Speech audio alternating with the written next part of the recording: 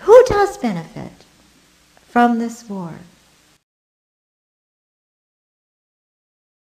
And I know you've taken that question into your elected representatives' offices.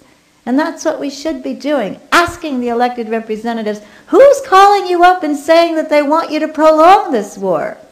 And I've asked that of the most conservative Republicans and Democrats in the Chicago area. Chief of staff will readily say, oh, we never get calls like that. I haven't heard a call like that for the last three years. Well, who is pressuring for benefits from this war? And I want to frame this by acknowledging that I think there are many, many good-hearted, kindly, earnest people who ask the question, along with elected representatives, but if we leave Iraq, I mean, we'll be leaving Iraqis to fend for themselves. Don't we have to stay in Iraq in order to take care of Iraqis and fix the mess?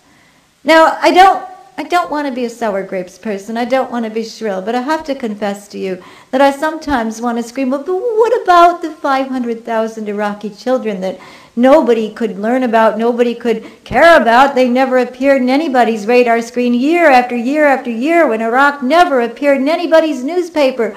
Why didn't we care then? It's almost as though there's this new attitude, no Iraqi child left behind. Well, we left behind plenty. Kathy Kelly vet vad hon talar om. Under hela 90-talet upplevde hon på nära håll sanktionernas förödande konsekvenser för civilbefolkningen. Hon såg barnen dö i sjukhussängarna bara för att det saknades rena sprutor. Dö i cancer bara för att det saknades röntgenutrustning. Som grundare av Voices in the Wilderness samordnade hon ett 50-tal resor till Irak med akut distribution av läkemedel, sjukvårdsmaterial och leksaker till barnen i strid med sanktionerna för vilket hon dömdes till fängelse och böter hemma i USA efter att ha överlevt bombmattorna över Bagdad de första invasionsmånaderna. Kathy har tre år i rad nominerats till Nobels fredspris.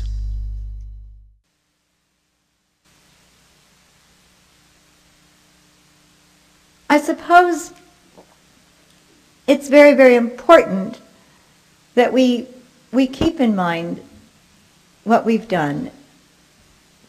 Former Secretary of State James Baker said at the conclusion of the Iraq Study Group report that he'd framed and written much of, that we will not wring our hands over memories of mistakes that may or may not have been made in the past. We will not wring our hands over such memories. And I do feel a, deep defiance. And I realize that one of the reasons that's kind of stuck with me is because I don't want to wring my hands. You don't want to wring your hands. We want to be able to do something to extend that hand of friendship to alleviate the suffering. But I think that at least one of the ways to stop a next war is to continue to tell the truth about this war. And that we can do. And so we have to be confronted by these very, very difficult truths. And I suppose one of the ones that was so difficult in the May 8th issue of the New York Times, you might have seen it, a report from Save the Children, which said that in the year 2005 alone in Iraq, 122,000 Iraqi children didn't reach their fifth birthdays.